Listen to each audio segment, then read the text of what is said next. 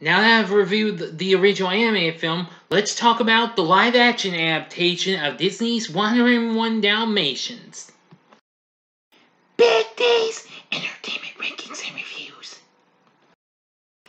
Greetings, my fellow YouTubers, and welcome to Big D's Entertainment Rankings and Reviews. My name is Doyle, better known to you as the Big D, and this time around I bring to you a review of the 1996 adventure comedy flick 101 Dalmatians, released by Disney in 1996. This, of course, is a live action adaptation of the 1961 animated film of the same name. Now, I thought I'd do its, this review just to promote the release of Cruella, which will be opening tomorrow, and also because this year is the because later on this year will be this version's 25th anniversary. And this came out in 96, which was 35 years later after the original film got released. Well, well, over 35 and a half years anyway. It would be nearing it on 36. anyway, the film was directed by Stephen Herek, who who recently did movies like Critters, Bill and Ted's Excellent Adventure, The Mighty Ducks, and just recently, a year before this came out, Mr. Holland's Opus. The film stars Jeff Daniels along with Joely Richardson, Joan Plowright, Hugh Laurie, Mark Williams, and Tim McInnerny. Oh, oh yeah, and don't forget Glenn Close, who played the the villainous Cruella de Vil. So anyway, let's go ahead and get into our story. American video game designer Roger Dearly lives with his pet Dalmatian Pongo in London. One day, he, Pongo sets his eyes on a female Dalmatian named Perdy. After a frantic chase through the streets of London that ends in St. James Park, Roger discovers that Pongo likes Perdy. Her owner, Anita Campbell Green, falls in love with Roger when they meet. They both fall into the lake as a result of their dogs chasing each other but they return to Roger's home and Anita accepts his proposal. They get married along with Perdy and Pongo. Anita works as a fashion designer at the House of DeVille. Her boss, the pampered and very glamorous Cruella de Vil, has a deep passion for fur, going so far as to have a taxidermist, Mr. Skinner, skin a white tiger at the London Zoo to make it into a rug for her. Anita, inspired by her Dalmatian designs a coat made with spotted fur. Cruella is intrigued by the idea of making garments out of actual Dalmatians and finds it amusing that it would seem as if she was wearing Anita's dog. So Anita soon discovers that Perdy is pregnant and is then informed that she, Anita, is too, much to her shock. Sometime later, Cruella visits their home and expresses contempt upon meeting Roger. Her initial disgust at them having a baby turns to excitement when she finds out Perdy is expecting two. Several weeks later, she returns when a litter of 15 puppies are born and offers Roger and Anita 7,500 pounds for them, but they refuse. Enraged, Cruella dismisses Anita and vows revenge against her and Roger.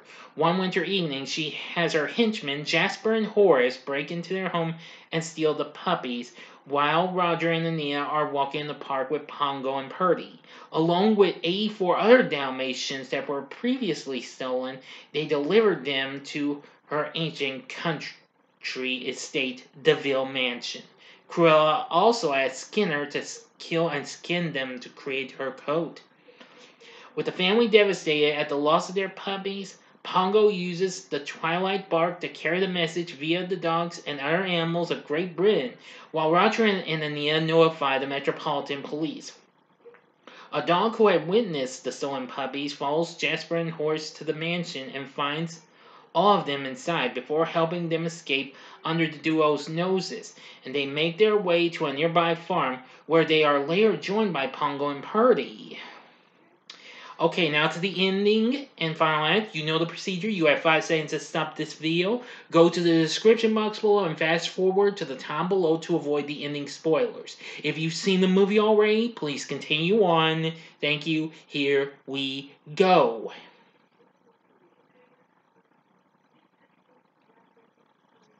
Okay, you've been warned. Cruella arrives at the mansion and soon discovers what has happened. Angry with the thieves' failure, she decides to carry out the job herself, while Jasper and Horace attempt to search for them also. After several mishaps, Jasper and Horace discover nearby police on the hunt for Cruella and her henchmen and hand themselves in, joining Skinner, who was beaten earlier while trying to kill Lucky, one of the 15 puppies, who apparently, if you recall, almost died, uh, just like in the original, who had been left behind. Meanwhile, Cruella tracks the puppies to the farm where they are hiding and tries to retrieve them. However, the animals outwit her, causing her to fall into a vat of molasses and get thrown through the window into a pig pen. Shortly afterwards, the fleeing Dalmatians, including Lucky, are found and sent home via the Suffolk Constabulary. Constabulary, excuse me. While the cops were looking for Cruella at the farm, where they finally arrest her. In the police van, she berates Jasper, Horace, and Scare for their incompetence before they are all sprayed by a skunk which she had mistaken for her purse. And Pongo Perdy and their puppies are reunited with Roger and Anita. After being informed that the remaining 84 puppies have no home to go to as they have not yet been claimed by their original owners, they decide to adopt them, bringing the total to 101. Roger designs a successful video game featuring Dalmatian puppies as the protagonist and Cruella as the villain, and they move to the countryside with their millions. Roger and Anita have a baby daughter, and a year later, the puppies have grown up with puppies of their own. End of story. So, what did I think of the live action version of Wandering Dalmatians? 101 Dalmatians? I'd say it was pretty good. I remember seeing this before, and I've seen it several times. I've seen it well on video cassette at work, not so long ago, which is why I didn't want to watch it on Disney Plus. But anyway, I have revisited on Disney Plus um, since the day I got the service. Anyway, John Hughes was co-producer, and well, the burglars and Cruella get into so much craziness, kind of similar to what we would see in one, well, one of Hughes' own productions, that being the Home Alone franchise. Well, Hughes co-produced this with Ricardo Mestres. Now, I still think it's pretty funny, but it did spark some controversy.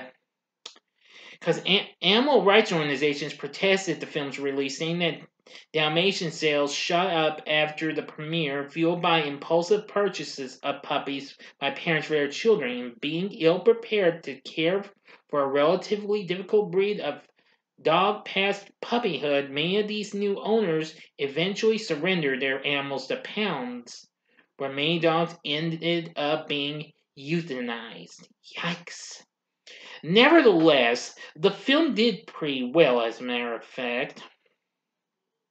Despite getting mixed reviews and what have you, uh, I'd still say this film's pretty good. Not, it's almost as good as its anime counterpart, but I have to give credit to some things. Uh, the score from Michael Kamen's not too bad, but I do think the cast is really good. Glenn Close absolutely does well as Cruella de Vil. We'll find out if Emma Stone manages to try to follow in the footsteps of her when Cruella comes to theaters and to Disney Plus with premiere access. Playing Roger is Jeff Daniels, who has recently appeared in our movies. Of course, he was in um, Dumb and Dumber before this. He'd also go on to appear in movies such as Fly, um, Fly Away Home and RV and, well, lots of other movies.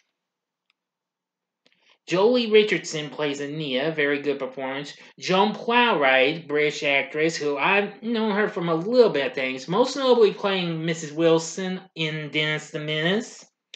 Jasper is played by Hugh Laurie, who, of course, would later go on to play Mr. Little in the, the two theatrical Stuart Little movies, and would also go on to be well known as TV's House, MD.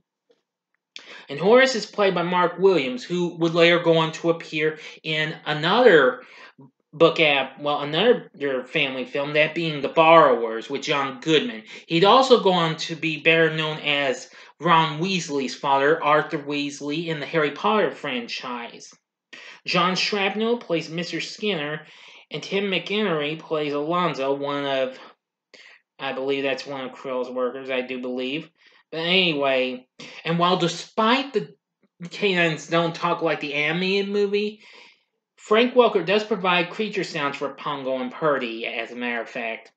But anyway, with a pretty good cast and what have you, 101 Dalmatians live action version, it's not too bad. I mean, like I said, it's almost as good as its anime counterpart. So, would I recommend this one? I'd say, yeah, sure, go ahead. Anyway, the film did well despite mixed reviews. The film went on to make 320 million worldwide and became the sixth highest grossing film in 96. It also got not and of course, Close got nominated for a Golden Globe for Best Actress in a musical or comedy movie. Is, it was also nominated for a BAFTA award for Best Makeup Effects. And there was also a sequel called 102 Dalmatians. I'll review that some other time. And that was released four years later eh, in 2000. But again, I'll review that another time, okay? So give the the live action remake of 101 Dalmatians a try. It's pretty good.